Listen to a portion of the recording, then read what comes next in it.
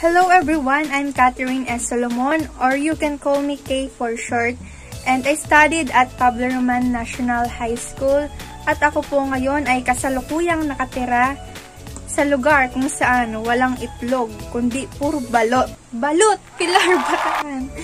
Hindi, joke lang po. May, um, pagpasensya nyo na po, medyo kasat po talaga ako. Kalog, ganun. Kaya po, hindi naman po ako mahirap i-approach. Lahat po, kayo pwede pong maging kaibigan. Pero syempre po, iba pa rin po yung mga taong papakisamahan ko talaga. At syempre, yung mga taong nag-aaral po talaga mabuti. Pero, hindi po nila nakakalimutan na mag magsaya, mag-happy-happy. Magsaya, mag-happy-happy. Basta yung may pahinga naman. Ganun po. And also, I'm a simple girl with a simple dream. Opo, simple lang po yung pangarap ko sa buhay ang makapagtapos po ng civil engineer para po mabigyan ko po ng magandang buhay yung mga magulang ko. Uh, hindi naman po ako nangarap ng para lang sa sarili ko, kundi unang-una po talaga ginagawa ko po ang lahat, nag-aaral po ako ng mabuti para po sa magulang ko at hindi po parang unang-una sa sarili. Next lang po yun. Siguro kapag dumating sa point na hirap na hirap na talaga ako sa pag-aaral kasi aminado naman ako na hindi naman talaga ako matalino. Sipag at syaga lang talaga kung bakit ako nakaka-survive. Kaya classmates, alam niyo na kapag sure ako at alam kong tama itutulong ko, go lang ako. So ayun, another fact about me, sobrang bilis ko din po talagang ma-stress. Stressable ako. Stressable. So, yun, kunyari, dalawang requirements pa lang yung kailangan ipasa. Gusto ko ba, agad-agad meron agad ako nun. Kasi hindi ako ginagahol. Kaya pag ganon, inuunti-unti ko na talaga yung gawain para hindi na ako ma-stress. And minsan, nilalaro-laro ko yung mga baby kasi mahilig ako sa bata eh. Nilalaro-laro ko yung mga pinsan ko para mawala naman yung stress ko. So, sa tingin ko naman po, may alam na po kayo sa akin kahit papaano. So, Halina po at samahan niyo po ako sa a day in a life ko bilang estudyante sa New Normal. Na. Good morning! So, ngayon, hindi ko alam, pagising ko, vlogger na ako. Charot. Samahan niyo ako sa magiging routine ko sa New Normal as a student. So, syempre, ang kauna-unahan kong ginagawa kapag gising ko is didilat. Charot syempre magpe-pray ako. Then, kukunin ko na agad yung cellphone ko para mag-online. Kasi nga, yun, for me, yung hirap pa. Kasi, dapat lagi kang online para lagi kang updated sa mga announcement. Ganun kasi minsan hindi nababago eh. Lalo na ngayon, ilang oras akong naka-offline. Kasi nga, syempre, natulog ako. Nung gabi, din ako nakapag-online. Kaya, ayun, kailangan, kailangan natin na mag-online agad para hindi tayo mapag-iwanan. Diba, nandito pa rin ako. So, ngayon, babangon na ako. Document na document lahat. So, ngayon babangon na ako para kumain. Pero, I think naman siguro pag may face-to-face, -face, ganito din yung routine ko. Ang pagkakaiba lang is hindi agad ako mag-online nun. Kundi, pagkagising ko, pray, and then kain agad ako. Siyempre, mumug muna. Kain agad ako para hindi malate. Iyon lang yung iniisip ko. Kasi, pag face-to-face, -face, minsan may di na ako maintindihan, lalo na sa math. Paano pa kaya kapag online? So, yun yung uh, wino-worry ko. So, ayun, nagpapahinga-pahinga lang ako kasi nakatapos na akong kumain and after ko magpahinga, maglilinis ako ng bahay. Siyempre, yung linis ko ng bahay, magwawalis lang talaga ako. Pero hindi ko nabibidyon, masyado na ang plastic, charot lang. And after nun, mag-exercise ako at least 5 to 10 minutes para lang pawisan. Siyempre, kailangan natin maging healthy, lalo na sa panahon ngayon. And stay healthy and stay at home.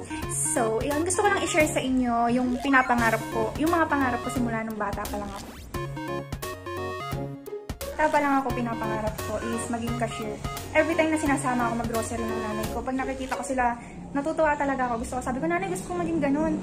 Yung mga nakaharap sila sa computer and pipindot-pindot. Yun, yun talaga yung gusto ko ng bata ko. Pero syempre, uh, nag-higher like grade, naging grade 5, naging grade 6. Syempre, nagbabago din naman yung pananaw ko. Syempre, lahat naman nagbabago, di ba? Dati mahal kanya, hindi na. And, iyon, simula nun, sinasama, minsan, sina, minsan sinasama din ako ng tatay ko sa work niya. Uh, makaka-work niya is engineer, architect, pero siya hindi sa ganon. Government employee siya. Pero, ayun tay, sabi ko, tay, gusto kong maging ganon. Ano bang ginagawa nila? Sabi nga ni tatay, engineer daw yon And, ayun, naririnig ko sila, naglolokan. Sabi, sige, magganyan ka, maganda yung sahod nun, malaking sahod, ganon. E di, ako, ngayong napag, napagtanto ko nung gantong age na ako, siguro yung mga sahod nun na sa range na 30 to 60k, depende siguro yun sa position. Di ba may position nun? And iniisip ko, or naiisip ko, siguro mas malaki yung sahod nun kapag nasa ibang country, ibang bansa. Kaya siguro papalo siya ng 100k, aabot siya ng ganun pag sa ibang bansa. And iyon na nga, sabi ko talaga gusto ko maging engineer. And grade 10 na ako nun, iyon pa rin yung gusto ko, engineer talaga. Pero hindi ko talaga alam kung anong klaseng engineer. So grade 11 na ako sa STEM ako pumasok, syempre engineer kasama doon. And sabi ko, tatay, hanggang ngayon hindi ko pa alam kung anong klaseng engineer yung gusto ko. Tapos sabi niya, tapos iyon nga nakwento niya pala sa akin na yung pinapangarap niya talaga is maging civil engineer. Pero syempre dati mahirap yung buhay kaya hindi siya nakapagtapos. Sorry maingay yung baby ah. Tapos kaya, ayun, dun na na, ano yung feelings ko na, yun na lang pala, sige, civil engineer. At least ni engineer, di ba? Pero, iyon, nalaman ko na yun yung pangarap ng tatay ko. Syempre, gusto ko bilang isang anak, makita niya yung pinapangarap niya para sa sa sarili niya na, na ako yung tumupad. It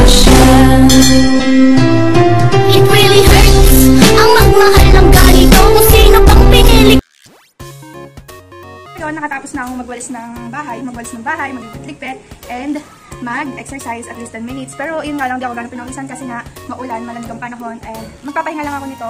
Then after ko magpahinga, maliligo ako. At habang nagpapahinga ako, nag-online ako, nagsa-cellphone, para kung may any updates or announcement, ay hindi ako naging updated. So yun, aalis na sa bahay namin kasi makiki-wifi na ako. Wala kaming wifi. Punta na ako sa tita ko. Yan. Ganyan lang araw-araw kapag may klase. Hindi ko wifi ako, pupunta na ako sa tita ko. Walking distance lang naman siya kasi safe naman dito sa amin. Nahiya akong daming tao.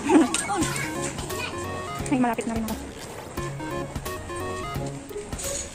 So, everyday, di ba, iba-iba yung schedule. Kaya hindi naman din ganito araw-araw yung ginagawa ko.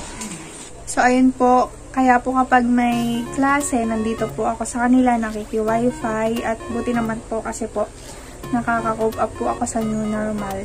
And ang mga kasama ko po dito, yan po yung mga pinsan ko. Hi! Yan po, sobrang lambot po ng katawan niya. Kalalaki tao. Sana all, di ba? So, kung ako po yung tatanungin ako anong talent ko, isa lang po akong mabuting mamamayang Pilipino. Hindi, joke lang. Um, since elementary po, nagbabatong twirling po ako. Yon. Pwede ko na po na-videohan yung pag-uwi ko, pagkain namin. Pero gusto ko po ulit mag-iwan ng fact about me bago ko po tapusin tong vlog na to. At ang unang-una po doon ay mabilis po ako mainis. Lalo na po kapag ah, dadatnan po ako. Alam na po yun, girls. And Pangalawa po, kung di po ako civil engineering student, siguro po nasa line po ako ng business kasi mahilig po akong mag-business kahit na nasa gantong age pa lang po. Bye! Thank you!